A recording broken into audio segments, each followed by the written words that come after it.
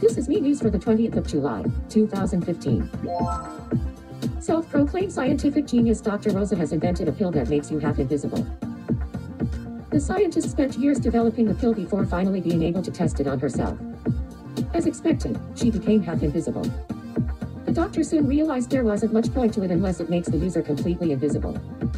And so the invention's announcement ended up being only half-hearted and somewhat transparent.